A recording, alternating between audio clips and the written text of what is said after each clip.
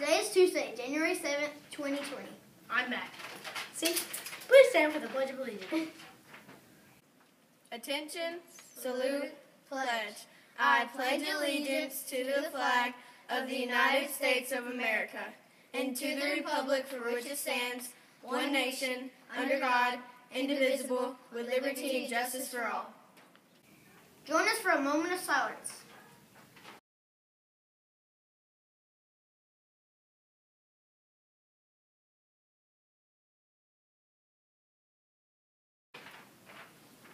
Now here's the buzz. Welcome back. We hope you had a great break. We will be reviewing our school's procedures today since we've been away for a couple of weeks. You need to step back into your daily routine, routines quickly. There's a lot of learning to take place before the end of the year. Be respectful to others and considerate of their feelings. Be responsible for your voice level in the classroom, during connections, in the hallway, and, of course, the lunchroom.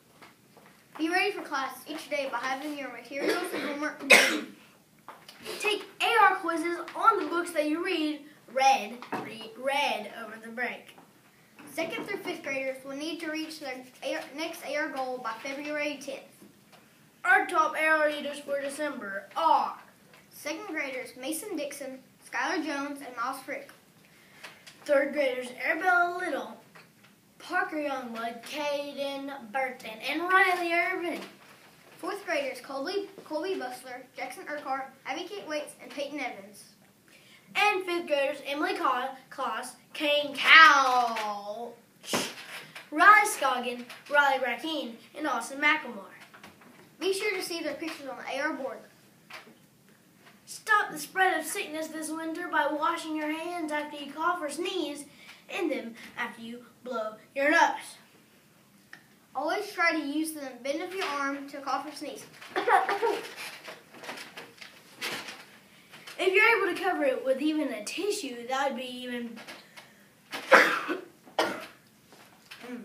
That'd be even better. Our January character education word is caring.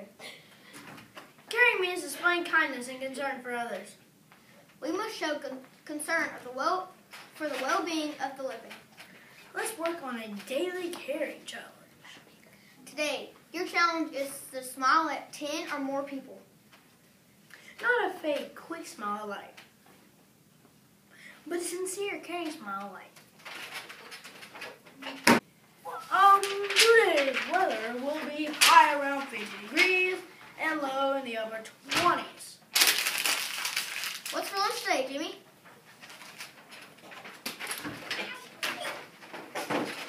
Today's lunch will be pizza, chicken sandwich, corn on the cob, lima beans, Popeye salad, and frozen peach cobbler. Um, hey Amanda, what's for tomorrow's breakfast?